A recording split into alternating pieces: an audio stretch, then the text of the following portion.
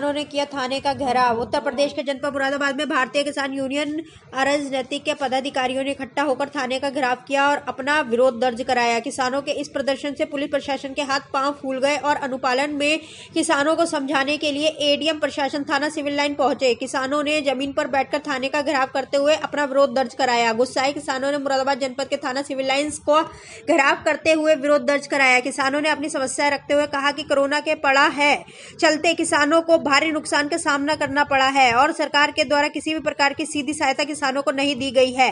किसानों का कहना है कि लॉकडाउन के चलते वैसे ही किसान परेशान है और ऊपर से पुलिस किसानों का उत्पीड़न कर रही है, जिसकी वजह से किसान सड़क पर उतरने को मजबूर हो गए हैं। किसानों ने कहा कि गन्ना खरीद के चौदह दिन के अंदर उसका भुगतान कराया जाए। किसानों के सामान्य योजना के स्वीकृत नलकूप कनेक्शन का सामान दिया जाए। किसानों ने प्रदर्शन करते हुए कहा कि किसान सम्मान निधि का पचास परसेंट भी भुगतान किसानों को नहीं मिला है, जिसकी वजह से किसानों का विभागीय दफ्तरों के चक्कर में काटने पड़ रहे हैं। किसानों ने मांग करते हुए कहा कि जल्द से जल्द इन सभी समस्याओं का समाधान मुख्यमंत्री योगी आदित्यनाथ के द्वारा किया जाए अन्यथा आंदोलन किया जाएगा। मुरादाबाद से परवेश अंसारी की रिपोर्ट। हाँ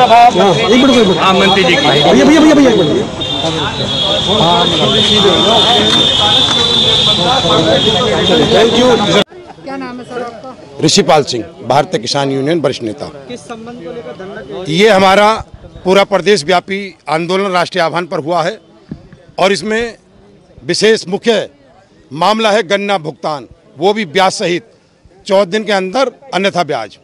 तो आज हम यहाँ बिल्कुल जो भी चीनी मिल है, उस चीनी मिल के क्षेत्र में नज़दीक जो भी थाना आता है अगवानपुर चीनी मिल का सिविल लाइन थाना है तो इसलिए आज सिविल लाइन थाने की धरती पर हमने आज यहाँ ज्ञापन दिया राष्ट्रीय आह्वान पर। मुख्य समस्या हमारी गन्ना भुगतान, वो भी ब्याज सहित हो।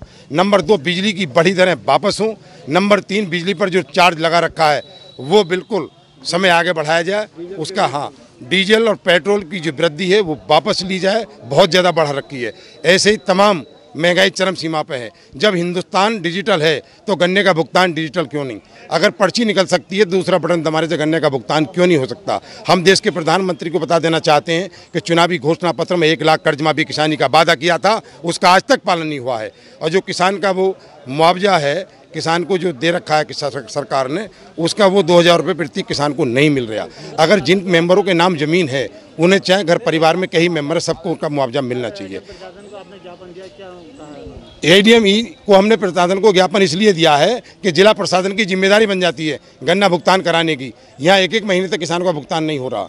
और अभी गन्ना विभाग की जो घोर लापरवाही उजागर हुई है, जिसमें किसान से मांगा जा रहा है, फर्द, खसरा, आधार कार्ड कहाँ से लाए किसान वो? उन्होंने इन्होंने कहा कि वो नहीं ली जाएगी। नहीं अरे विभाग अपने आराम से कंप्यूटर से मंगवावे आज पूरा इंटरनेट जुड़ा हुआ है। हमने पिछले वर्ष जो कागज़ इकट्ठा करके विभाग को दिए हैं वो करोड़ रुपए के गन्ना विभाग ने कागज़ बेच डाले और आज फिर वही काम हो रहा है। अब कोरोना के चलते हुए महामारी के चलते हुए हम कह रहे हैं किसान घर से कम निकलो महामारी का सम्मान करो इसमें जान है तो जहान है। इस चीज़ को ध्यान में रखते हुए काम करना है। जय जवान जय किसान धन्यवाद आप सबके लिए। या हम बारह बजे आ गए और जो समय हो रहा जाने का वो देख लो आप दो बज रहे हो? हैं। थाने पे बैठे हैं लगातार। हाँ थाने के अंदर ही। जय जवान जय किसान। भाई दो घंटे हो गए पूरे। चलो। पूरे दो घंटे। समस्या थी गन्ना किसानों की। गन्ना मूल भुगतान को लेकर कृषकों द्वारा ज्ञापन दिया गया है। इनका राष्ट्रीय आह्वान था। जनपद में हमारे अभी तक हम लोगों ने जितना गन्ना परचेज हुआ था उसका 75 परसेंट का भुगतान हमने करा दिया है।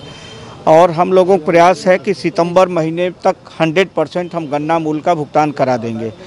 और स्थिति हमारी अच्छी है फिर भी किसानों की मांग जेनविन है और इनकी मांग को विचार करते हुए जल्दी से जल्दी मिलर्स पर दबाव बना करके गन्ना मूल भुगतान कराया जाएगा। अब मांग गन विशेष तौर से गन्ना मूल भुगतान की है ब्याज की भी मांग है इनकी कि हमें ब्याज दिया जाए। तो ब्याज की मांग शासन स्तर पर ही इनकी अ, निस्तारित हो सकती है। हम ब्याज के संबंध में शासन को भी पत्राचार करेंगे। शासन से यदि अनुमत मिलती है तो ब्याज की भी इनकी भुगतान किया जा सकता है।